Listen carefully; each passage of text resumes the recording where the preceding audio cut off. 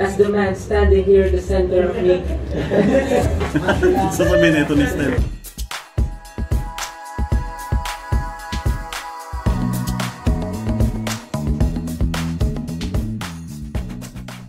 Hi guys and welcome to another reaction video. Ngayon naman, ito, kalalabas lang yung uh, vlog ng SB19, yung kanilang binibining Pilipinas vlog. Alam nyo guys, sana gumawa ng gantong, mga gantong types of content talaga si SB19 dahil talagang mas nakikilala natin si SB19 talaga hindi lang as napakagaling na performer but of course as a human, di ba? As a human na talagang uh, uh, very passionate sa kanilang ginagawa at sometimes, di ba, hindi naman always perfect, may kakulangan din, pero they're here as a group. Alam naman natin yung story nila and sobrang marami silang na-inspire. Not just sa songs nila, kundi pati yung kwento nila as a band. So, itong mga vlogs na to, di ba, I, I know that this will be a, a funny vlog at for sure maraming may inspire na mga tao sa vlog na to. Ayun, I'm very excited na panoorin to. And of course, bago ako magsimula, please don't forget, click like and subscribe sa aking YouTube channel and click the notification bell for more videos and updates. Okay? Let's do this. Okay, so this is 3 days. 3 days before the event, okay?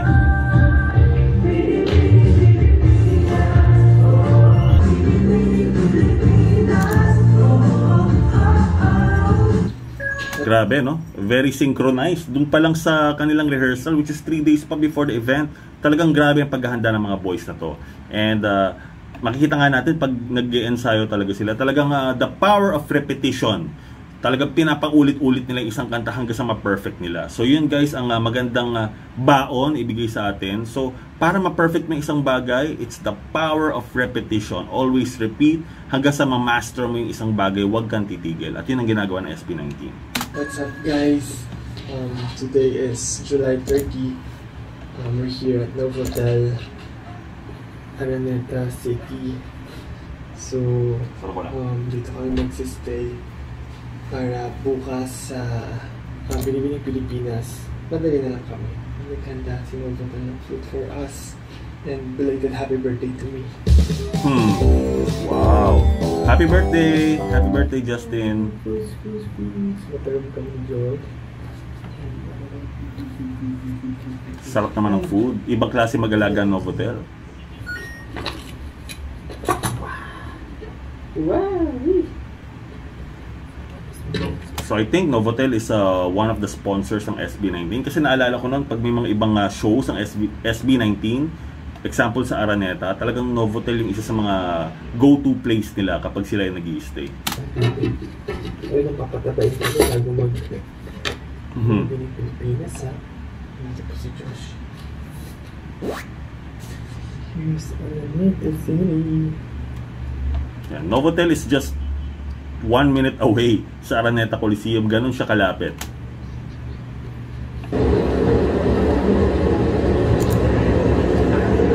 One day. O binibining Pilipinas. O atras ako. O binibining Hindi ka nakakalaw kasi Okay, okay. Sista lang ang atras. Binibining. Sista lang ang Tsaka pati Ah, kayo. tayo. So Kasi di ka even the blocking, di ba?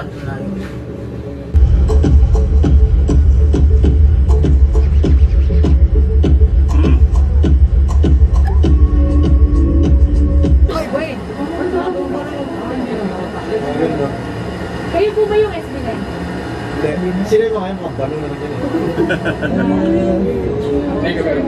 Let's welcome Esty. Hello. Before you go there, he has to brief you of what's going to, ano, okay? check test. Yes, okay.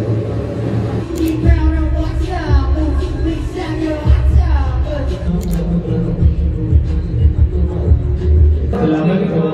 Good luck po. Thank you po. Good luck. So for this, talagang one day before the rehearsal, the artists make sure na nandun na sila sa venue. Okay? So bihira mangyari yan guys. Uh, kadalasan yung mga artists, uh, pumupunta sila on the day na of the event, not SB19. SB19 talaga, they make sure na everything is prepared, everything talaga is talagang uh, nakahanda talaga sa bawat detalye ng show. So, very hands-on sila. So, they make sure na pag pumunta sila doon, prepared sila. Okay? So, comparing sa ibang artists na hindi naman natin nila lahat. Pero some of the artists talaga eh medyo late pagdating sa preparation. Pero not with this types type of groups like SB19 and for sure naman yung ibang mga groups din. Uh, mga ibang P-pop groups din ganon din. Uh, very well prepared na sila pag pumupunta sa isang event or show. So ito ang ito ang kumbaga itong magandang traits ng uh, Filipino musician and Filipino artist na na-adapt natin sa modern na panahon na always come to uh, an event na well prepared talaga. And may dress rehearsals. Oh, ano tingin-tingin mo doon? For next contestant, you know, oh, Siyempre may onting fun, di ba?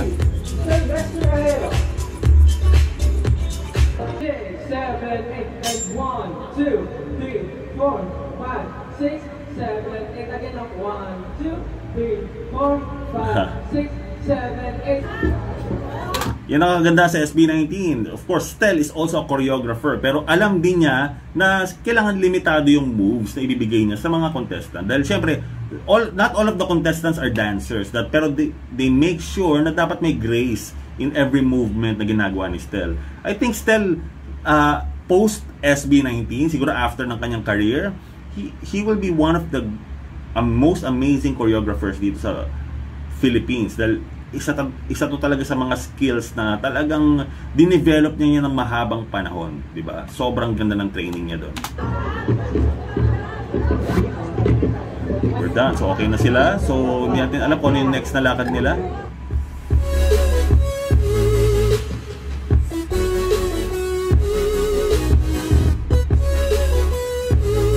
Damit nila. Wow, ganda.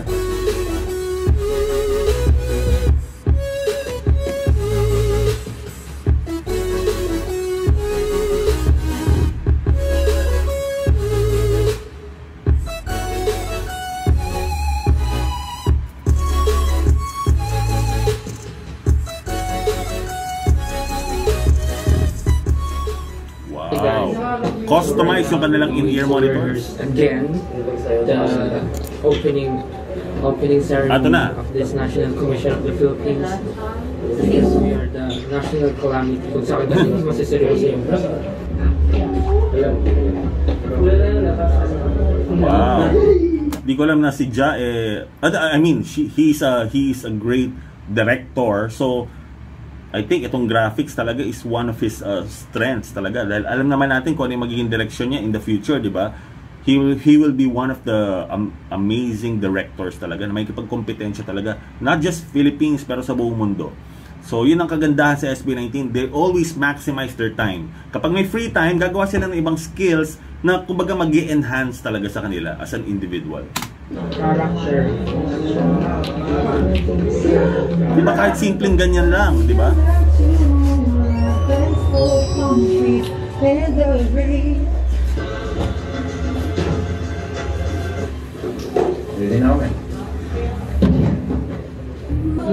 Kita niyo yung sacrifice talaga, di ba? Straight on me, one, two, three, break! Amazing, amazing. They make sure na ready sila before they perform, before they go out to stage. Talagang ganyan sila. Ganyan mag-prepare ang SB19. They are well organized. Kasi nga may director sila, meron silang artist. I mean, different characters talagang SB19. So, in terms of time management and organization, number one ang SB19 dyan. In the inspiration, it is crystallized embroidered red velvet accentuated while on her way to fetch water from the distant Taal. Last minute retouch ng. Where it spread light to this day. With the music of the church bells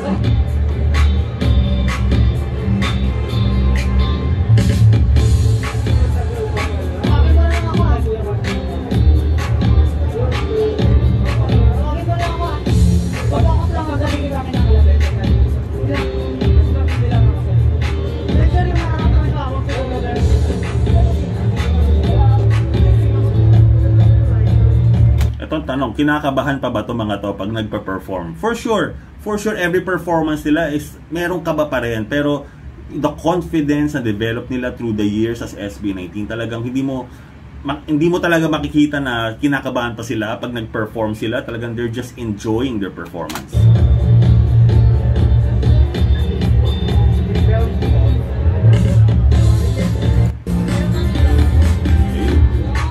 Forward natin, forward, forward. Yan.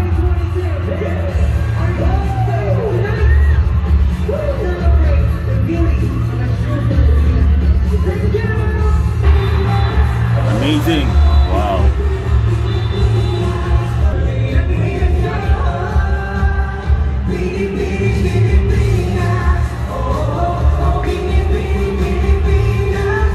And okay, ipopost ko lang doon. ah. Look at the balance. Okay, the balance of this performance. Sa unang part, sumayaw sila. Nakita ko yung the exact video of this. Sa unang part, sumayaw sila, nagpakita sila ng moves. Pero by the time na pumasok yung mga ladies, 'di ba? Hindi na nila own ang stage. The ladies are the star of the stage, yung mga contestants sa Binibining Pilipinas. So they make sure na hindi na sila sasayaw doon. Hindi na sila magpapakita ng mga moves kasi kumbaga sa isang banda, okay, they, they sing the song pero they're not the main uh, purpose kung bakit may gantong event. It's all about these ladies na sumali. So there's a balance. Sabi, hindi na sila sumayaw dyan. Hindi na nila in-outstage. Hindi na nila in-outperform yung mga ladies. Ganto ka, ganto ka professional at ka-sensitive ang SB19 pagdating sa performance talaga. Talagang there's a sense of balance. Good job, boys. Pakakatsi ng kanta. Tapos na? Hindi, meron, alam ko meron pa. yan. Talaga ako marunong acting talaga.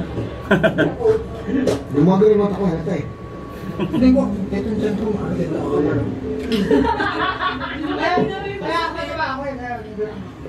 Okay. Okay po. So break time. Ano. Hello po, ang gusto ko magpasalamat Yung nag-gift po sa akin ng SD card na 256 gigabytes. Grabe, you're such an honor. Horror. Suka! Naku, ulitin mo yan. Parang may mga ano, na nag-joke. Suka! Okay, pwede, pwede. Forward ko na ha. Meron ba?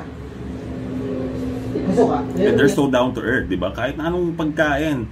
Ang kinakain nila is yung kung ano yung kinakain ng mga staff, ano yung kinakain ng mga production people. They're also eating that. So, ganun sila ka down to earth. Naman Forward, forward, forward. Ito na yung next performances. Okay. I I see some familiar faces dito sa sa performance na to. Ayan, yung mga prod people na nakasama ko nung concert. So, they're still here talagang talagang todo ang kanilang ah, support for SB19.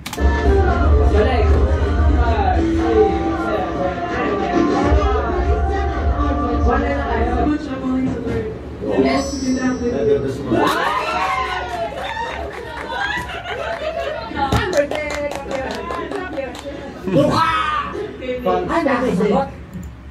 Forward ko na, forward ko na. Okay. My sisters here in the Philippines, would rather in the world. I would say I'm standing here in front of you, as strong as the man standing here in the center of me. so, sabihin ito ni Stel. And together, we are high. Well, they're just having fun, di ba? Yun naman ang pinakamaganda doon. Ah, dapat enjoyin mo lang talaga yung moment. Pag, kapag nagpa-perform ka, na nawawala yung kaba eh, di ba? Five. Forward ko na, forward ko na. For me, the courage will start at the courage the cowardly dog. we have we have the difference in everyone, and the courage starts with you. And the courage starts at one part, our part. Well,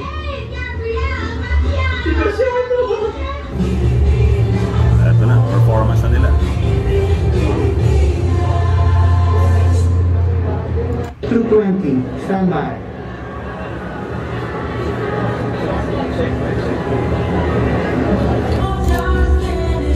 Course, hindi mawawala yung kanilang performance ng Basinga.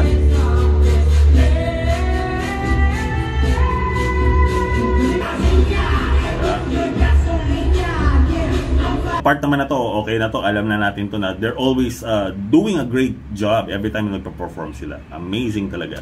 Okay, I think yun na. Meron pa ba? And the announcement of winner. Siyempre, hindi sila umuwi.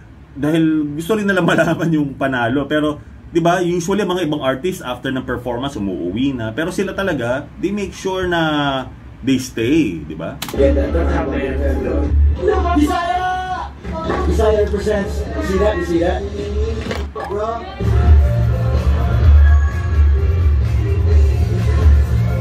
Wow! Mexit agad! Ano?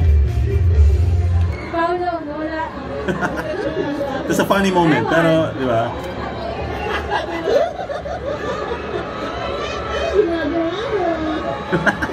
Na yung